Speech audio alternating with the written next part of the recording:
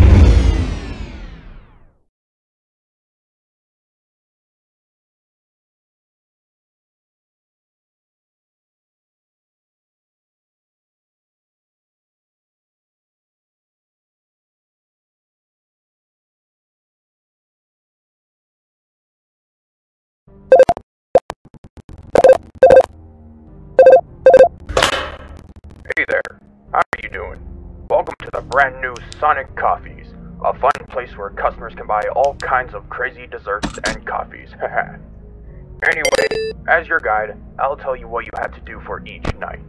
We let the robots walk around so that they don't suffer from malfunctions, and since they don't have a nightly schedule, they'll confuse their facial recognition systems with anyone. But don't worry, we gave you the necessary tools to defend yourself against them. So I'll be telling you what to do for this first night, alright there, rookie? Okay. So we basically have new robots now, like I said before. They'll mess up their facial recognition systems with anyone. So I'll tell you what to do with each of them. You don't have to worry about the rest of the robots for this night, but the only robots that will move for this night are our new robots, the Sonic, Mario, and Yoshi ones. If Sonic happens to come in through the center of your office and comes in, just put on the Tails mask to make him go away. If Mario happens to come in through the right vent, just use the Yoshi mask we have there. It doesn't really cover your face, so you're gonna have to use your hand to hold it over your face and pretend for it to be a mask. That will make him go away. And if Yoshi appears in the left vent, just use the Mario mask. If you happen to get which mask to use, just remember whose is whose friend. Alright, that's all you need to know. Have a good night, and I'll talk to you tomorrow.